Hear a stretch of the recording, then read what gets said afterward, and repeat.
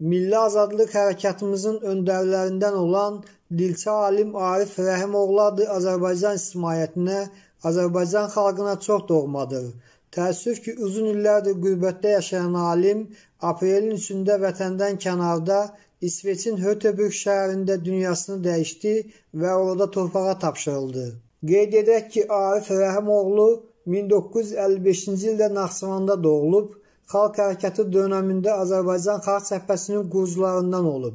O 20 kitab və 250-yədək elmi məqalə müəllifidir. Arif Rəhimoğlu 2003-cü ildə İsveçə mühacirət edib. Dəyərli izləyicilər, Arif Rəhimoğlu adı bir dəyərdir. Çünki o yaşadığı ömrü şərəflə yaşayıb və milli ideologiyanın formalaşmasında müstəsna xidmətləri olub. Məhz buna görə məsləkdaşları, dostları, iş yoldaşları olmuş insanlar 21 aprel tarixində Bakı şəhərində Heydər məscidində Arif Rəhimoğlunun əziz xatirəsini yad ediblər. Bir neçə nəfər isə onun haqqında Kanal 13-ə fikirlərini bölüşüb. Onları sizlərin diqqətinə təqdim edirik. Aprel ayının 3-də vətən sərhədlərindən çox-çox uzaqlarda İsveçin Göteborg şəhərində Milli Azadlıq Hərəkatımızın görkəmli siması bütöv Azərbaycan sevdalısı, böyük mütəfəkkir, alim, bir sözlə mütəfəkkir və sözün hər anlamında vicdanlı Azərbaycanlı, şərəfli türk övladı Arif Rəhimoğlu əbədiyyətə qovuşdu. Arif bəyin həyatdan köçməsini vətəndə, Azərbaycanda böyük üzüntü ilə qarşıladıq. Aprel ayının 14-də torpağa tapşırıldı. Yenə üzüntü içində o səhnələri biz seyr etdik, üzüldük. Arif bəy vətəndən, eldən getdi. Bugün aprel ayının 21-idir. Bir qrup Arif Rəhimoğlu sevərlər, yaxınları, əzizləri, dostları Bakının mərkəzində ona anım mərasimi təşkil ediblər. Arif bəy anırlar, onunla bağlı öz xatirələrini bölüşürlər. Biz də 13 olaraq öz kameramızı həmin mərasimə e, gətirmişik və həmin mərasimin gedişi ilə bağlı Arif bəyi sevənlərin Arif bəy haqqında düşüncələrini sizinlə bölüşürük. Əli Şamil, Azərbaycan Milli Elmlər Akademiyası Folklor İnstitutunun Xarici Əlaqələr şöbəsinin müdürü. Arif bəy sadə bir insan idi. O, Bakı Dövlət Universitetinin Filologiya fakültəsində oxudu. Normal bir cəmiyyət olsaydı, Azərbaycan müstəqil bir dövlət olsaydı, Azərbaycan bütöv olsaydı, Arif bəy gözəl bir dilçi alim olacaqdı.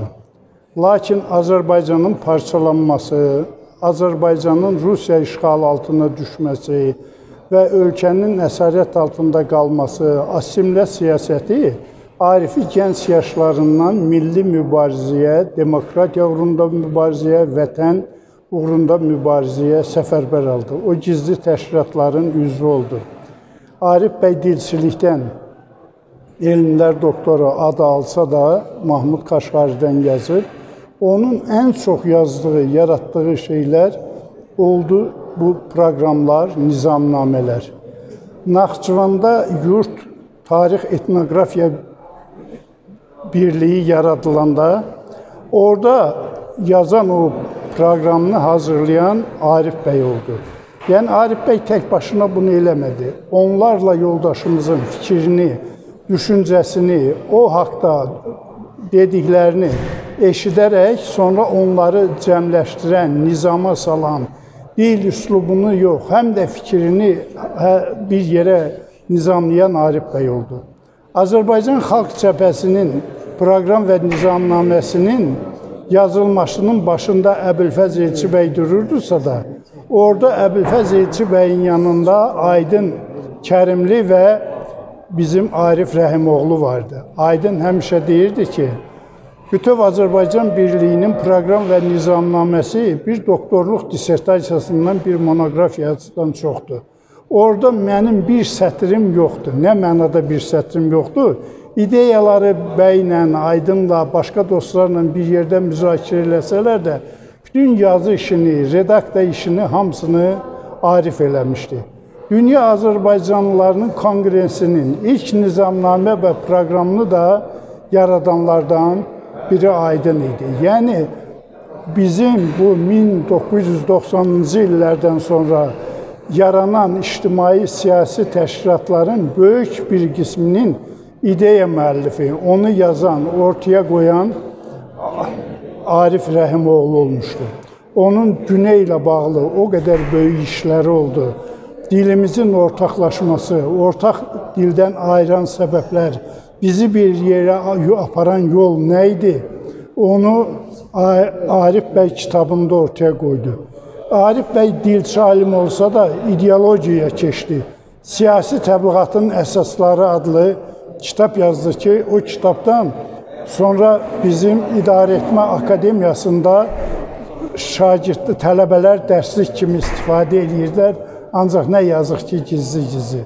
Arifin hansı sahədə milli azadlıq hərəkatında, demokratiya uğrunda mübarizədə hansı sahədə deyirsən, orada biz Arifi görə bilirik. Arif İsveçə mühacirət etmək məcburiyyətində qalandan sonra da əsas ağırlığı şifahi təbliğata, televiziya, radio vasitəsilə təbliğata, klublarda təbliğata keçdi. Məsələn, Bakıda olarkən Paltaq deyilən bir klub var idi. O Paltaqda mühazirələr təşkil edirdi. Mühazirələr özü oxuyurdu və dünyanın müxtəlif yerlərindəki Azərbaycanlıları da o otağa yığırdı ki, onlar bunu dinləsinlər. Allah Arif bəyə rəhmət eləsin, onun vətən millət qarşısında xidmətlərini gənc nəsil yaşatsın və davam elətdirsin. Arif Rəhimoğlu haqqında keçmiş e, zamanda danışmaq çox çətindir. Arifə bizim yaxın dostumuz idi, hərəkat silahdaşımız idi, qardaşımız idi, abimiz idi. Allah ona qəni-qəni rəhmət eləsin. Uzaq İsveçin soyuq torpaqlarında deməli dünyasını dəyişdi, torpağa tapşırıldı. Bu gün Arif sevərlərin hamısı burada Bakıda Arif bəy e, anım mərasimi keçiririk, orada iştirak edirlər. İsveçdə də Arif bəyin mərasimində, dəfn olma mərasimində iştirak edən bütün dostlarımıza e, təşəkkürümü bildirirəm. Arif bəyin ailəsinə, bəyin bacı olmaqla, Tüşan xanıma, e, Oğuz bəyə, Atabəyə başsağlığı verirəm və bütün e, dostlarımızın hamısına başınız sağ olsun deyirəm. Arif bəy elə bir adam idi ki, Arif bəy böyüklə böyük, kiçiklə kiçik, Arif bəyin heç bir ictimai siyasi bölgüsü yox idi. Arif bəyin o tay bu tay məsələsi yox idi. Arif bəy heç vaxt Azərbaycanı bölünmüş vəziyyətdə e, təsəvvür eləmirdi və bütöv Azərbaycan birliyinin başında olarkən də bu amala xidmət edirdi. E, bu gün Arif bəyin xatirəsinə yığışmışıq və Arif bəyə Allahdan rəhmət diləyirik. Arif bəyin apardığı yolu, ideoloji xətti. Bundan sonra da Allahın köməkliyi ilə Arif bəyin e, yolunu davam edən gənclər davam elətdirəcək. Allah rəhmət eləsin, qəbri nurla dolsun. Nazir Əhmədli fəlsəfə doktoru. Atatürk mərkəzində şöbə müdiri işləyirəm. Mən Arif Rəhimoğlunun şəcərəsini araşdırmışam. Bu sahə üzrə mütəxəssisəm. Məlum oldu ki, Arif bəy, yəni nəsli hələ rus işğalından qabaq bəy nəslindən mənsubdur. Yadımda qalan ulu babalarından Məmməd Hüseyn bəy və başqaları mənim yaxşı yadımdadır. Doğrudan da bəzi adamlar bu bəy nəslindən mənsub olmadığı halda özünü belə iddialarda bulunsa da, amma yəni faktiki olaraq onun halal haqqı özü bəy nəslindən idi və onun bütün davranışında, əxlaqında da bu bəylik özünü büruzə verildi. Yəni Arif bəy doğrudan da bəy idi. Allah rəhmət eləsin. Mən onu 1980-ci illərdə Naxçıvan Dövlət Pedaqoji İnstitutunda mən tələbə idim. Arif müəllim də orada müəllim işləyirdi və Azərbaycanda Bakıda çap olunan klassik Azərbaycan ədəbiyyatı 20 cildliyində onun bir folklor nümunələri nəşr olunmuşdu. O vaxt ki, Naxçıvan İnstitutu üçün bu həddindən artıq böyük bir hadisə idi. Çünki Naxçıvan İnstitutunun başqa müəllimlərinin, yəni Bakıda, mərkəzi mətbuatda, kitablarda belə e, materialları çap olunmurdu. Ona görə də Arif müəllim o vaxtdan mənim də, digər tələbələrin də, müəllimlərin də diqqətini cəlb eləmişdi. Sonradan Azərbaycan xalq hərəkatında önəmli rol oynadı. O tarixini, yəni bu hərəkatın tarixinə əbədi olaraq yazdırdı. Çox təəssüf edirəm ki, Arif müəllim qürbətdə gözlərini yumdu. Onun işi, onun e, uğrunda çalışdığı ideyalar amma yaşayacaq, onun davamçıları bu ideyanı yaşadacaq və mən onun şəcərəsini müəyyənləşdirib, onun doğrudan da bəy nəslinə mənsub olduğunu sübut edən arxiv materiallarını da onun özünə göndərmişdim və bundan da çox sevinmişdim.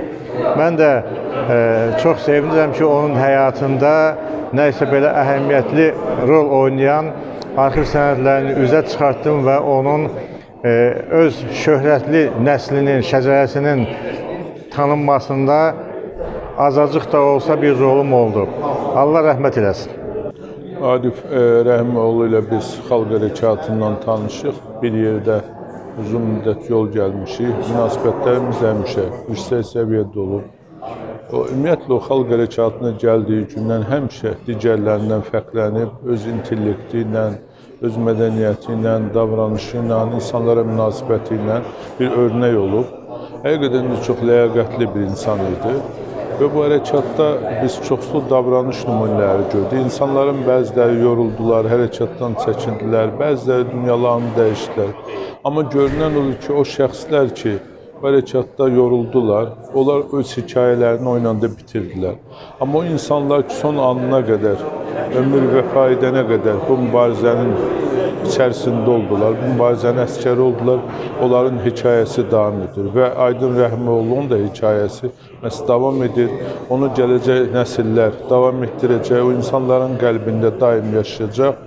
Azərbaycan tarixində, gələcək e, dövrlərdə o örnək ola biləcək bir şəxsiyyət kimi bizim dərsliklərdə övladlarımıza e, nümunə göstəriləcək və e, necə deyirlər, onun qoyduğu ideyalarda həmin övladlar tərəfindən davam etdiriləcək. Allah rəhmət eləsin, ruhu şad olsun, e, vətən sağ olsun. Seyfəddin Altaylı Türkiyənin Səsi radiosunda işləyərkən mən Arif bəylə tanış olmuşdum 90-cı illərdə. E, Azərbaycan Xalq Cəbhəsinin birinci qurultayında 1991-ci ildə və ondan sonra da dostluğumuz başlamışdı. Dəfələrlə onun evində oldum. O bizim evimizdə oldu. Sağ olsun bəyin bacını dəfələrlə bizim əziyyətimizi çəkdi. Arif bəy millətimizin milli kadrı idi. Türk millətinin milli kadrı. Heyf ki, onu çox tez itirdik. Yəni, nə deyə bilərəm? E, Arif bəyin yeri boşdur və boş qalacaq. Onu bilmirəm, yerini doldurmaq imkanı olacaqmı, olmayacaq. Olmayacaqdır məncə. Çünki o elə bir insanıdır ki, onun açdığı e, cığır, onun getdiyi yol təbii ki, davam edir, edəcək. Amma Arif Rəhimov artıq o yolda olmayacaqdır. Onu Tanrı artıq öz yanına apardı. Əbədi istirahətgahına getdi. Allah qanı-qanı rəhmət eləsin. Millətimizin başı sağ olsun. Bəyim bacının, uşaqlarının canları sağ olsun. Allah yollarını, açıq işlərini aband eləsin. Çox heyif ki, Arif bəyi çox tez itirdik. Çox heyif. Allah rəhmət eləsin. Hüseyin Məlik, Azərbaycan Demokratiya və Rifah Partiyasının idarə heyətinin üzvü. Arif bəy haqqında söz demək mənim üçün çox çətindir. Arif bəy e, mənlə təmasda olan, e, dəyər verdiyim Azərbaycanda ən böyük ideoloqlardan biri idi. Mən e, Arif bəyin Bütöv Azərbaycan Birliyinin iclaslarında Əbülfəz Elçi bəy iclas aparanda və Arif bəy çıxış eləyəndə tək Arif bəydir ki, Elçi bəy onun dediklərini qeydə alırdı, qeydə, qeydə götürürdü. Mən e, belə demək, bir şey də demək istəyirəm ki, Azərbaycana bugünkü hakimiyyətə utanc gətirici bir e, tarixdir ki, yazılan tarix. Bizim dəyərli ziyalılarımız, dəyərli ideoloqlarımız, Arif Əlrəhim kimi, Tofiq e, Qasımov kimi və bir çox ziyalılarımızın əksəriyyəti xaricdə rəhmətə gedir və biz buradan torpaq aparıb onlara Azərbaycan torpağını orada dəfn olunur və onları şey, torpağa ə, Azərbaycan torpağına qovuşdururuq. Azərbaycan tarixi yazılanda və bugünkü bu Azərbaycan hakimiyyətinin bizim ziyalıları belə gərgin salmağı da tarixdə yazılacaq. Allah rəhmət eləsin. Qəbri nurla dolsun. Arif bəy e, bir ölkə, bir e, 100 ildə bir dəfə eləmçi ideoloq yetirən e, zamandır. Allah rəhmət eləsin, ruhu şad olsun. Mən Axşın Hakəmərli. Cənubi Azərbaycandan, Təbrizdən. Arif bəy bizim üçün dəyərli, xalqımız üçün çox qiymətli bir insanıdır. Və onun Güney Azərbaycan haqqında istər Təbrizdə, Urumiyədə, hər yerdə görüşləri bir çoxunun diqqət mərkəzindədir. Və bu gün də o düşüncə və o ideya ilə yaşanır. Arif bəyin ürəyində e, bir bütöv Azərbaycan var idi. Doğrudan o gəzən bir vətən idi, gəzən bir bütöv Azərbaycan idi. Onun ideyası haqqında danışanda çox belə səmimi, uşaqla uşaq. Bəzən olurdu ki, biz Arif bəyə e, yersiz suallar verirdik. Ancaq görürdük ki, o çox belə təmkinlə, çox belə səmimiyyətlə e, onlara cavab verirdi. Heç məsələn çaşıb eləmirdi və bizə gülmürdü ki, bu suallar şübhəsiz ki, siz də yaxşı bilirsiniz, hər kəs bunu bilir ki, Güney Azərbaycan hərəkət baxımından o dövrdə çox savadsız idi. Və bu günə baxmayaraq, ə, Arif bəy o ideoloqlardan idi ki, Güney Azərbaycanın savad, düşüncə potansiyelini son dərəcə yüksəltdi. Və o e, bəzən olurdu kətlərdə, bəzən olurdu şəhərlərdə, qısa məhvillərdə, məclislərdə şeir və ədəbiyyat dərnəklərində görüşürdü.